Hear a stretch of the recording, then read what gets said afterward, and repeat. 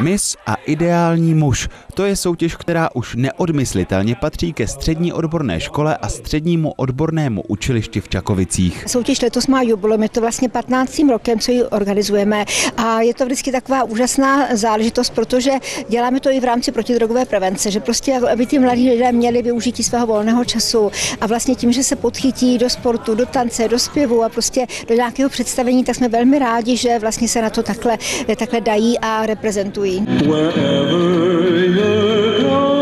Volná disciplína, plážový oděv a přehlídka ve společenských šatech. To byly tři hlavní disciplíny soutěže.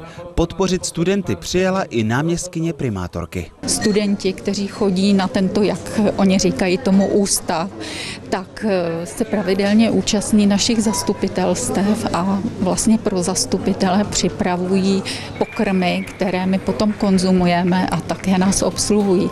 A to je pro mě velká radost, že zase mohu vidět studenty z té druhé strany, než jenom když pro nás zařizují to, co pro nás dělá to zastupitelstvo příjemnější. V porotě soutěže zasedly osobnosti jako Hanka Křížková, Dana Morávková nebo Iva Hitnerová. Moderátorem celého klání byl Jan Čenský. Jsem nadšený, protože tohle si dělají vlastně všichni eh, studenti a posluchači sami.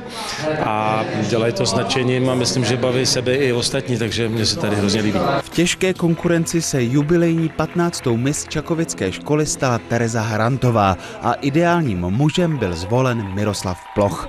Lukáš Kubát, Televize Praha.